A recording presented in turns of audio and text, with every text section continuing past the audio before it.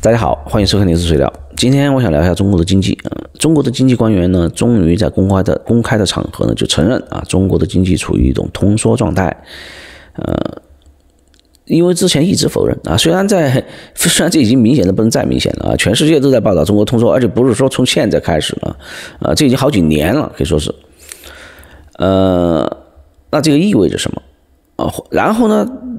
围绕着中国的这个舆论呢，围绕着这个事情呢，就开始大家就在探讨，呃，解决方案是什么啊？到底什么出了出了什么问题啊？当然，其实我在海外的早已经这个什么为什么会发生这个解决方案是什么，早都不知道谈了多少遍了，这是很明显的啊。这个你要说深一点，说浅一点都可以啊。最说的最彻底一点，不就是中共嘛，自己嘛，他他就完全不能适应他的体制了啊。呃，是必然会出现的。你一只脚走路啊，必然扯着蛋，就是这样。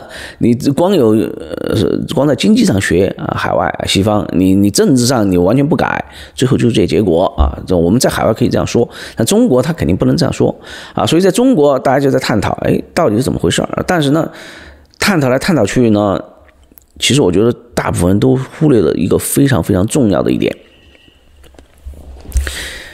那就是。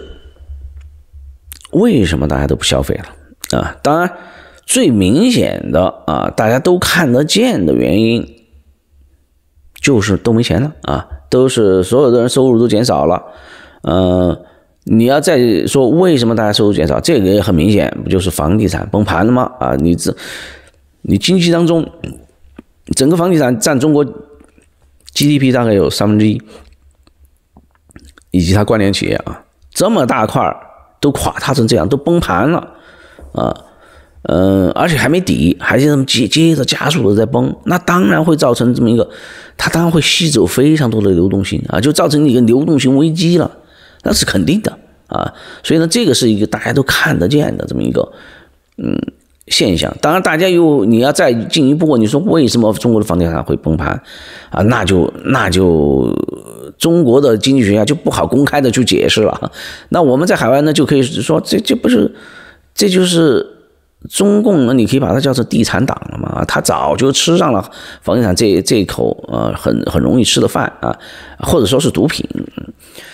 太吸上了这个东西之后就不能自拔了啊，就是说这个是来钱来的最快的，它也是一个巨大的收割机啊。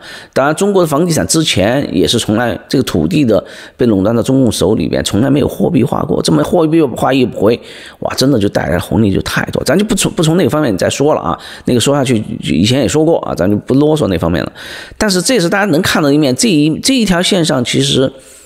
它的逻辑就是大家的收入减少，整个社会的你你比如说这一个产业它都垮掉了，那和这个产业相关的人全部都没收入了啊，然后呢，所有中国居民的百分之七八十的资产都已经都已经呃叫做什么呃全部锁死在里边了，或者说都不知道掉了百分之多少了啊。呃，很多人可能你要买的那样房子就更更别说了，或者怎么着，都可以说倾家荡产那种人啊。如果没有的，即使你手里面有房产的，那是房产现在值多少钱也不知道了，流动性极差啊，也没有什么财财富大幅缩水，就这种状况啊。所以没有问题，是因为很多人收入急剧的减少啊，这个是一个正确答案。但是除了这个之后，还有啊，还有更重要的，我想很多很多人都。几乎没有再谈，再往下谈了。其实还有一点，就为什么中国的的的确确啊，都损失了啊，这个呃收入减少，财产损损损失了。但为什么中国的企业仍然不投资啊？你说虽虽然经济在往下降啊，虽然虽然呃大家的消费力可能越来越弱，但是你不能说这个经济当中一点光亮都没有。或者说，你不能说我们是各行各业所有的企业都在看淡这个经济。为什么这就没有人能够挣到钱？如果我是一个企业家，如果我是在中国的一个企业家，那我我要投资或者不投资，我做出这个选择的时候，我有一个标准。这个标准就是我能我过去的经验，或者我最近这几年经验，我往里面投了，我挣到钱没有？发生了什么？那其实最近几年，给几乎中国所有的企业都是往里面投多少钱，投的越多，损失越多。然后他们现在已经得出来一个结论了，就是不能再投资了。其实我们换一句话说，我们用另外一个角度来看待这个问题，就是中国的这个经济它的运转模式，它目前中国这个经济这台这个机器就是个绞肉机，它这个机器必然把把你所有在这个机器里面运转的这些企业、这些个人给你刮得一穷二白，然后让你根本就没有办法。从中间获盈利，啊，你根本你没有办法造血，然后自己站起来，然后自己把自己的这个公司的这个运行变成一个啊有机增长的运行。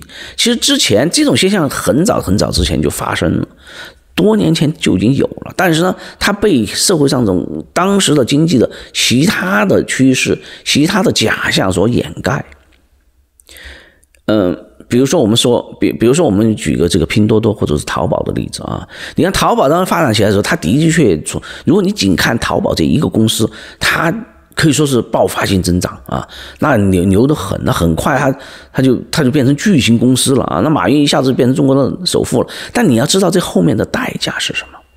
当然，马云不是一个人在战斗啊，马云后面也马上马云就变成了一个白手套。马云其实是。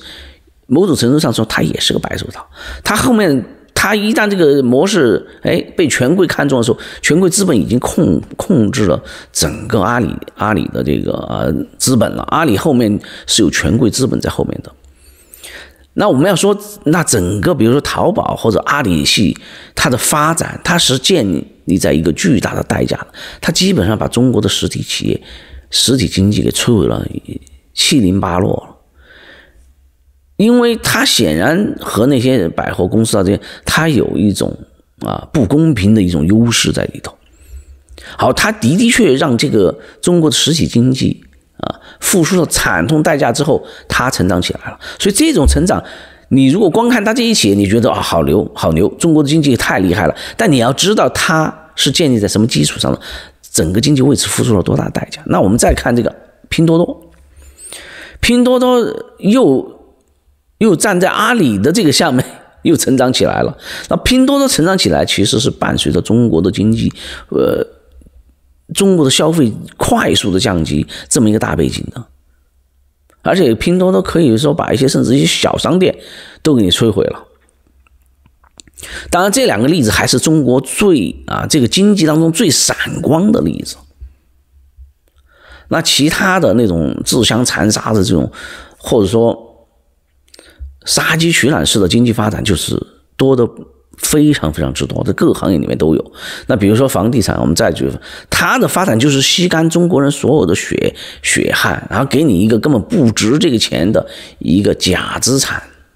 这个过程，它代价是这大的，但在它崩盘之前，你是看不出来的。在它崩盘之前，你都觉得哇，我们你富我富，大家都富了，我们都乘上了，呃，撞上这个风口了，我们一起飞起来了。但它一旦崩盘啊，你都不知道你的钱去哪里了。这钱有人就在中国发出了天问，就说啊，银行也在亏啊，企业也在亏啊，政府现在也负债累累，个人现在也破产，钱到哪去了？呃，很好的问题啊。其实我们就反思一下这个问题，钱到哪去了？那就是中共它设计的这套经济机器，它是个绞肉机，它是个价值毁灭器。啊，有人会说啊，这个这个拼多多起来了嘛？这个我们大家都省钱了，这多好啊！是的，你你从一个公司看是这样，但是你从整体上看的时候，你实际上是你在你在这个过程当中劣币驱逐良币，你那个走你那个渠道，你的我我如果要从拼多多上挣钱，我不知道把这个成本卡到多少多低，而且我仅因为这个平台竞争和它这种模式太。内卷的太太太血腥了，这个，所以导致了这些卖货的这些厂家利润薄的只够自己，也就是你不可能挣多少丰厚的利润，没有丰厚利润，你就不可能有品牌的建立，也不可能有质量的提高，也不可能有技术的进步。中国的很多公司都没有能力再投入到新的研发当中，就不可能推进创新，整个社会就在一种非常低水平的基础上在那残红海血海残杀。这就是中共经济的一个重要的标志。我们还不用说后面这些权贵是怎么吸的血，啊，那个就，所以中国中国的经济啊，它是一个损耗极大的一个机器。所以，如果是一个老老实实的中国的民营企业家啊，就算是他也很有聪明才智，他等这在中国经济里面折腾足够多的时间之后，他突然会发现自己真的就亏的差不多了啊！自己特别是现在这种状况，等全部崩盘的时候，就是这个。天下没有免费的午餐，这午餐结束的时候一片狼藉，他们很多人血本无归，或者说他们现在如果再往里面投钱，他们也知道了投多少损损失多少，因为这个机器，这个中共的这个经呃这个经济机器本身就是一个吃人的一个损耗极大的一个绞肉机绞肉机式的机器，这个机器现在已经运转不下去了。所以说，中国的那些银行啊啊，你看机器运转，哎，现在慢了，越来越慢，越来越慢，没人愿意投资了，大家效益越来越低了，收入狂跌啊，已经中间一些部分已崩盘了，怎么办？印钱。好，现在所有的参与者，特别特别是这些民营企业家，他们已经发现，我我敢去借钱吗？我去银行借了钱，我在，他们已经知道了是怎么回事了。他们已经获得了足够多的经验了，或者说他们的打击已经足够大了，他们再去借钱再投进去，也是就死无葬身之地了，那只能亏损更多了，所以大家不不不做了这生意。所以“躺平”这两个字还真不是简单说的。对普通老百姓来说，就是没机会啊，就我消费最低，我勉强糊口，我啥也不花钱了，我就躺平了。这样，我该我就存，我能赖的钱我就赖了，我不还了。呃，我我我我不能赖的，我只只剩那么多钱，我就是躺着，我就少吃少喝，我少花钱，这是普通老百姓的。那对于企业家来说，民营企业家来说，那躺平就是再也不投资了。我有钱，我赶紧转走。啊，或者说取成现金放床底下，或者兑成外币，有的买成黄金，还有些还有金融金融金融行业的人就是就买国债去了。然后呢，中国这个绞肉机经济终于大家认识到它的真实的面目了，它真实面目终于曝光了，因为之前还掩盖在这个纸面财富当中，还没有人看到有些这个现实有这么残酷，他们还。他们的钱、自己的努力、血汗，全部都折腾到这个机器当中了。他们似乎看着还啊，我还有纸面价值，还是很不错的。我虽我虽然之前一直没怎么拿回来，我我哪一天把我的纸面价值兑换出来，现在一看，纸面价值归零了，一切都是黄粱黄粱一梦。所以，你说他有什么解决办法？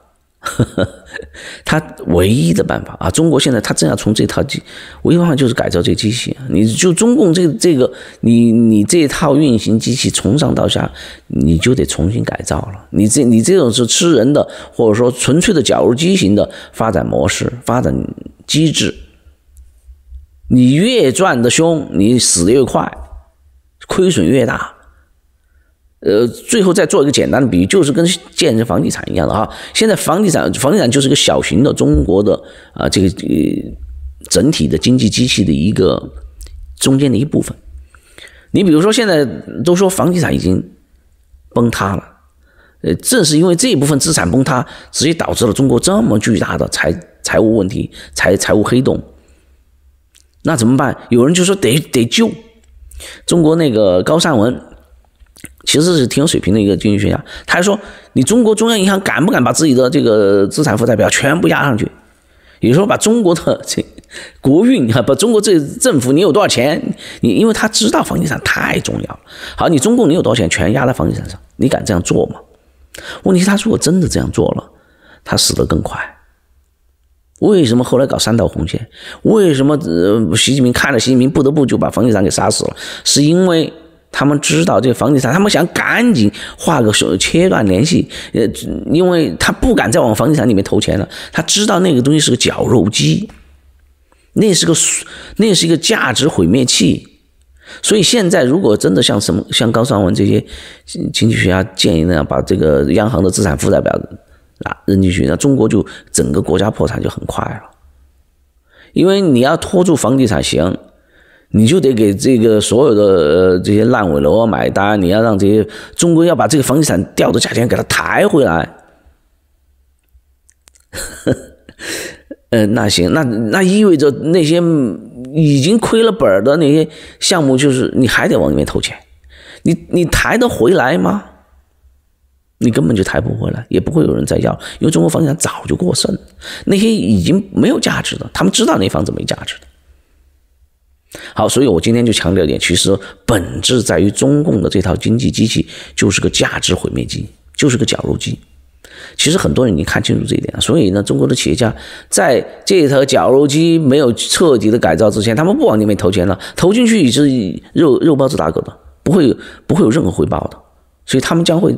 停着，啥也不做，中共会不会拿着枪上门叫这些民营企业家投钱呢？不可能，所以呢是无解的啊！中中中共只能自己改造自己，啊，自己在自己身上动刀子，自己把自己的经济从彻头彻尾的改造。我想他们连这点都认识不到，这就不这这么根本就不可能来改造它，将会发生什么？咱们拭目以待。好，今天聊到这，咱们下回再聊，拜拜。